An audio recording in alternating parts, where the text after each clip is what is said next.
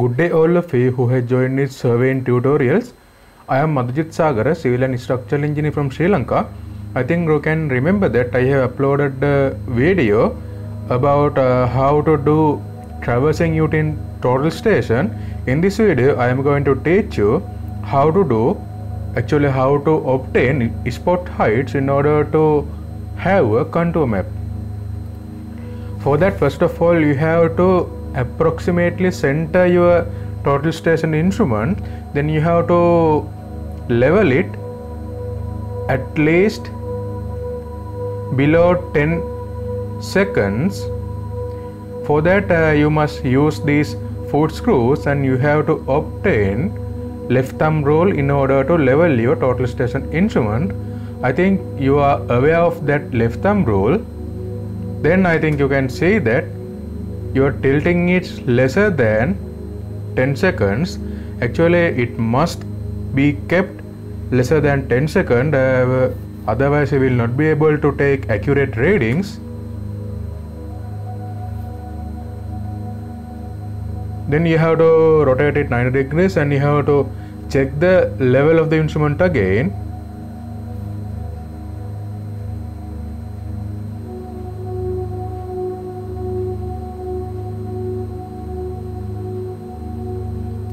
after leveling it you have to center it again using the center shifting method. It means you have to shift the tribrach without disturbing the level of the instrument. Here you can see that I have uh, centered my instrument to this peg. Actually this is called as a pivot or traverse station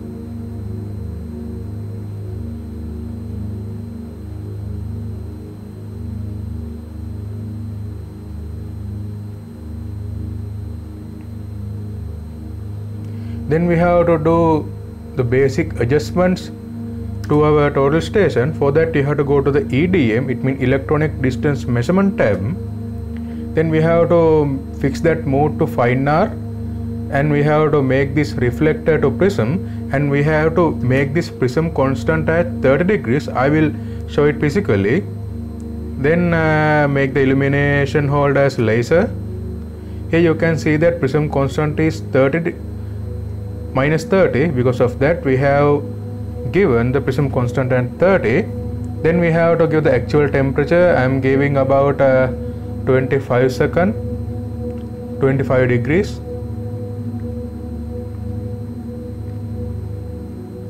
Then it is okay.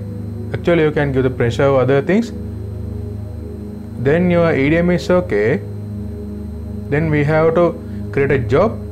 For that go to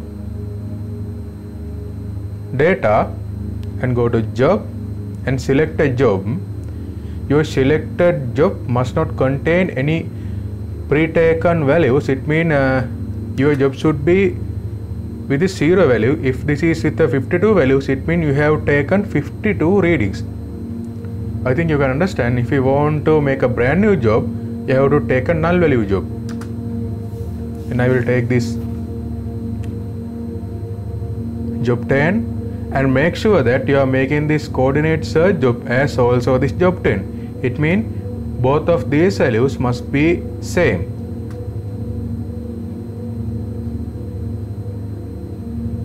Make this job 10 also. Then uh, you can rename your job hmm? go to job details. Using that you can rename it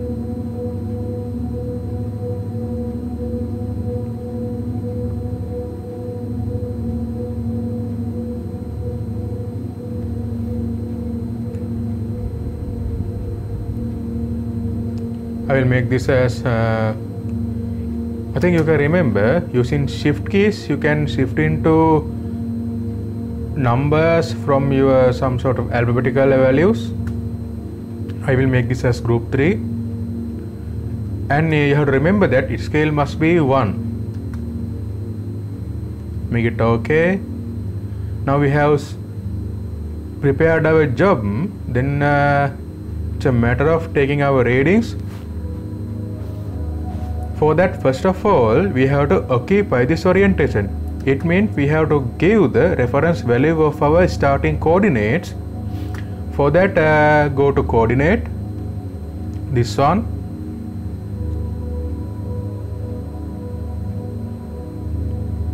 Then go to occupy orientation. If you don't have any predetermined temporary benchmark in your point you have to give your arbitrary values.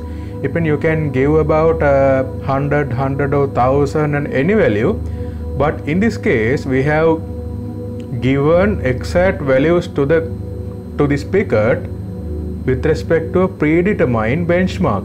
It means we have a known value known xyz coordinate to this value then we must assign that value to this coordinate to this station and we have to carry out our job. For that I will show you my value.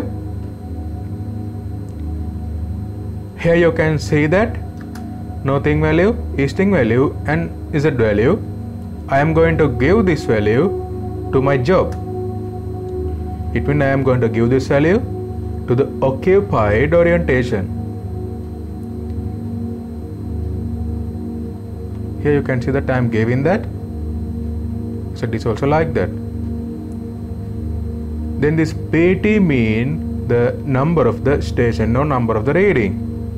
Actually I can give 1 2 3 number or I can give this P1 P2 P3 it's depend on you but when you are going to transfer this to some sort of software called uh, Civil 3D or Surfer you will be able to face some sort of issues depending on your numbering value it means uh, if you want to see the labels of your road centers RC1, RC2, RC3, RC4, you must give this number as RC1, 2, 3, 4 like that.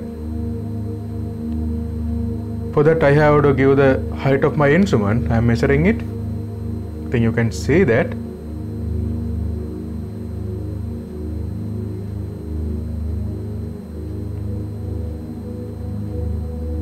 Can give any sort of adjustment to this. Uh, you can give your name to the operator, CD means point code. Here I am going to give the height of instrument as 1.47. Then I will make this uh, point code as station I will make this as station 1 then I will give my point code as stations. It means station 1 is a subset of stations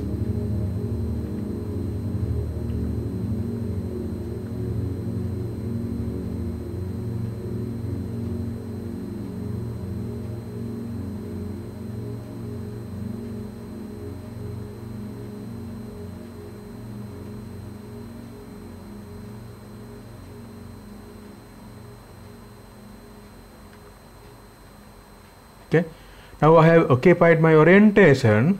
Then I have to take a backsight to a known value or I have to take a backsight to the node then I have to make it 0 it means if you don't have any predetermined temporary benchmark or predetermined picket you have to you have to use this method. It means you have to use a backsight azimuth. Sorry you have to use this backsight azimuth and you have to make your node to 0 but here in this case we are having a predetermined benchmark.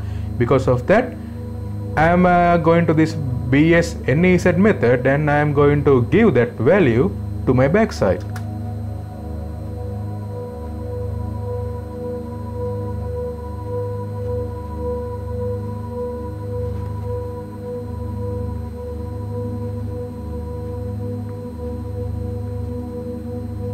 You can see that I am giving that my xyz coordinate of backsight is 1000 2000 and 650 I am going to give that. Here you can see that I am orienting to my backsight. I have to orient to my backsight and I have to give that value and I have to make it okay. It means I have to accept my backsight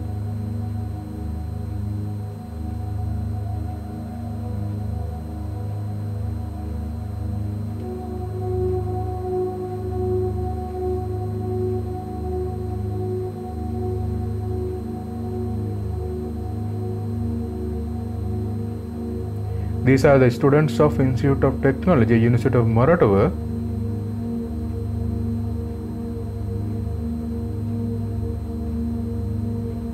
Here I have given that value 1000, 2000 and 650. After orienting to the prism or target, you have to make this OK and accept that value. You can see I am orienting to the far away target. Then I have oriented that. Then make that OK and accept it.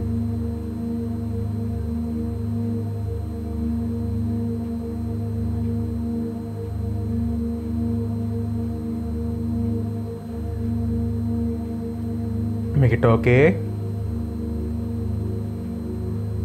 then accept it. Yes then I have to take my observation. For that go to observation. And HR mean height of reflector. Here the thing I am going to do is I am going to check my value. When I am going to do a cross check I think you can see that uh, our value is something closer to our predetermined value. Here you can see my target.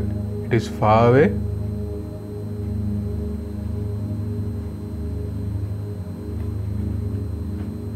I am accepting my value. Then I have to take my observations. Here HR mean height of reflector. It mean the height of prism target. I think you know what is called prism target. Here also I am doing some sort of cross check our value is very very closer to the predetermined benchmark. Actually it should be the same value because of human errors and some sort of errors I, we, our value has been uh, shifted from the uh, original value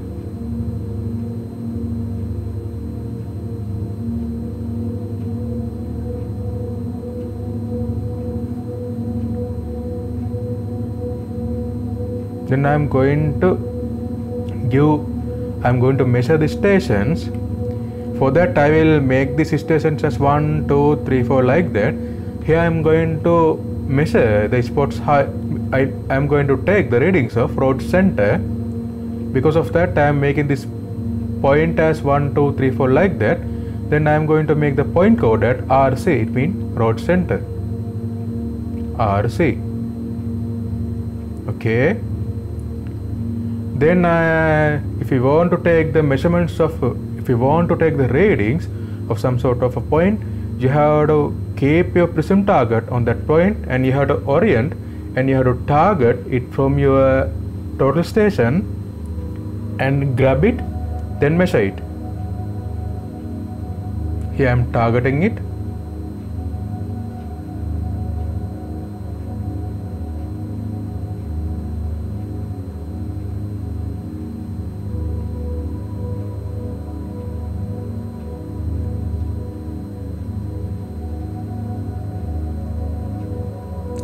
targeted it then measure it then record it.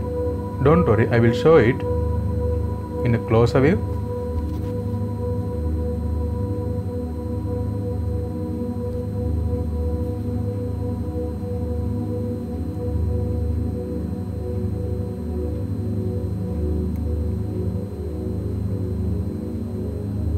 Here I am going to measure another station for that target it using your telescope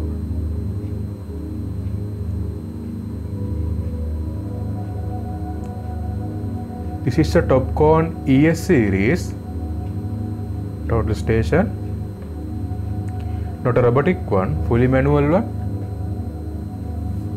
I'm targeting. Then measure and wait until it comes to this this display and stop it. Then you must record it okay you have recorded. Then I will uh, show you how to take several readings. It's a very easy task. If you are taking a reading of point number 2 after taking it instrument will automatically orient you to the point number 3 target it. Lock the target then measure it and record it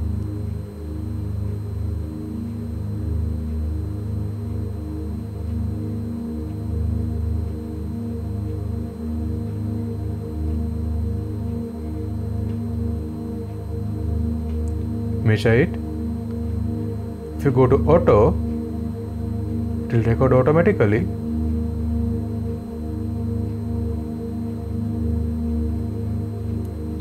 Here you can see that pole target this is called pole target. You have to orient to this place. Actually there are some sort of prisms in this device. Target it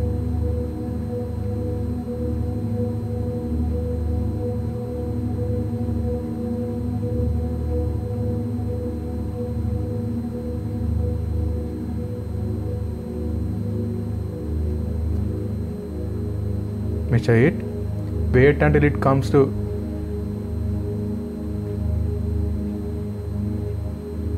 okay. I think you can uh, you will be able to understand the thing which was done by me.